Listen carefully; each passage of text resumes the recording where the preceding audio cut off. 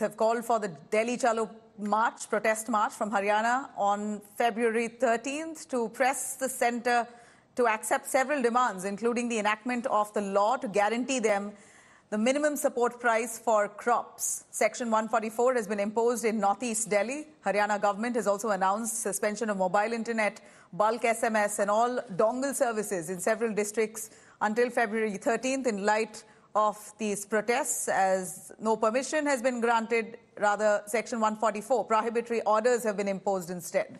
Along with that, security has also been beefed up along the Punjab-Haryana border. Meanwhile, India Today has learned that over 20,000 farmers likely to join in this protest. Farmers from Punjab, Haryana, Rajasthan, Kerala, Karnataka will be joining in uh, all the way to the national capital. But there are fears that anti-social elements could also join in this uh, movement. Uh, that's what the police fear, that this could turn into a violent showdown. The government has said that the Modi government um, is with farmers. In fact, trying to assure the farmers. There's been some communication uh, that's happened between the central government with the farmers union saying the government is with the farmers and was wrong uh, and you know for the betterment of the farmers laws have have been uh, proposed but that will be implemented soon promises will be fulfilled soon these protests should be called off in a way a message has gone to the farmers unions but the protests have been yet scheduled Uh, the farmers have called Chalo Delhi on 13 February, just along the other borders which are connecting Delhi to the NCR states. Uh, here at Delhi Ghazipur border, where the Delhi Meerut highway connects Delhi to UP, has also been prepared by the administration with the barricades, with the police van, with every measures that is required. Here I see the loudspeakers are being placed here on the uh, the panel. There you see the CCTV cameras along with the street light has been placed, and this is uh, in anticipation that possibly there could be law and order situation and if the administration fails to contain the farmers at the Shambhu border, probably there will be other farmer leaders, unions also join in. And in that case, this Ghazipur border, which has been an epicenter during the farm law agitation against the critical farm laws, this could be yet again the similar situation and exactly why I see all over these stretches the barricadings have been placed. Though the highway is open for traffic for now but as and when if there is anticipation of other farmer leader unions uh, joining in via UP entering Delhi via this uh, Delhi Meerut uh, highways probably that could again require preparedness and that's exactly what Delhi police has done.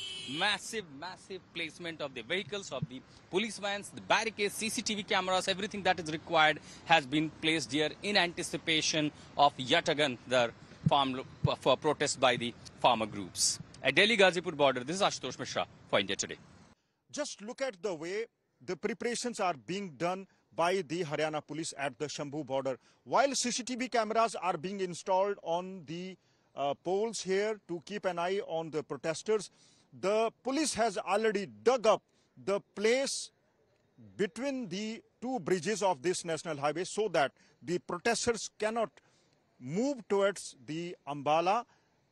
Uh, these precautions have been taken keeping in view the scale and intensity which we had witnessed in 2020 and 2021. Farmer unions uh, have uh, decided to march towards Delhi to uh, ask the government to remind the government about some pending demands, including the implementation of the Swaminathan Commission report, uh, making a law on the MSP besides other demands. Meanwhile, uh, the blockade of the roads, while at one hand is being claimed by the state government that this is being done to maintain peace and law and order.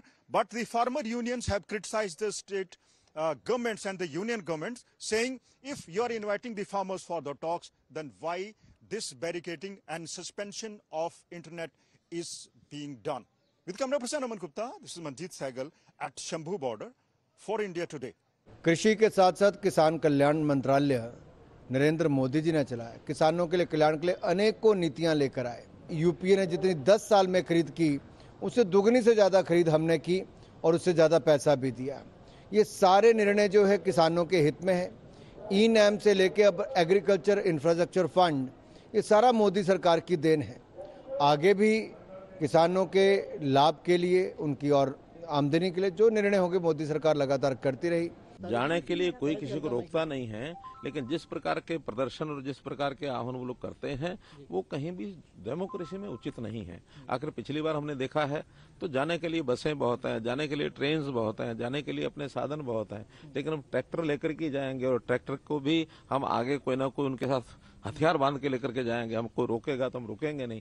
Law and order की स्थिति को maintain करने के लिए व्यवस्थाएँ करनी पड़ती हैं, और इसलिए जैसा हमारा पिछला अनुभव है, आपको पता ही है इस प्रकार का काम, किसी प्रकार का प्रदर्शन डेमोक्रेसी में जो तय मानक है, उसके हिसाब से करना चाहिए, जो तय मानक नहीं है, उसके हिसाब से नहीं करना चाहिए। Government had decided they are work as agent of the corporate they want to destroy our farmers agriculture and make it a corporate agriculture so they are not listening because of that we have given a call of Bharat Bandh rural Bharat Bandh on sixteen February so our movement is continuing till the governments accept our demand.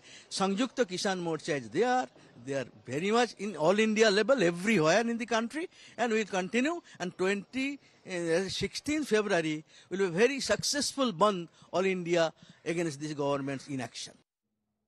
ਸੱਜਣੋ ਇੱਕ ਪਾਸੇ ਸਰਕਾਰ ਲਗਾਤਾਰ ਗੱਲਬਾਤ ਦਾ ਦੌਰ ਸ਼ੁਰੂ ਕਰ ਰਹੀ ਹੈ ਔਰ ਕਹਿ ਰਹੀ ਹੈ ਕਿ ਗੱਲਬਾਤ ਲਈ ਦਰਵਾਜ਼ਾ ਖੋਲ ਕੇ ਰੱਖੋ ਗੱਲਬਾਤ ਚੱਲਦੀ ਰਹੇ ਅੰਦੋਲਨਕਾਰੀ ਬਿਲਕੁਲ ਪੋਜ਼ਿਟਿਵ ਨੇ ਕਿ ਅਸੀਂ ਗੱਲਬਾਤ ਲਈ ਤਿਆਰ ਹਾਂ, ਗੱਲਬਾਤ ਕਰਦੇ ਰਹਾਂਗੇ ਔਰ ਕਦੇ ਵੀ ਕਿਸਾਨ ਗੱਲਬਾਤ ਤੋਂ ਨਾ ਭੱਜਿਆ, ਨਾ ਭੱਜੇਗਾ।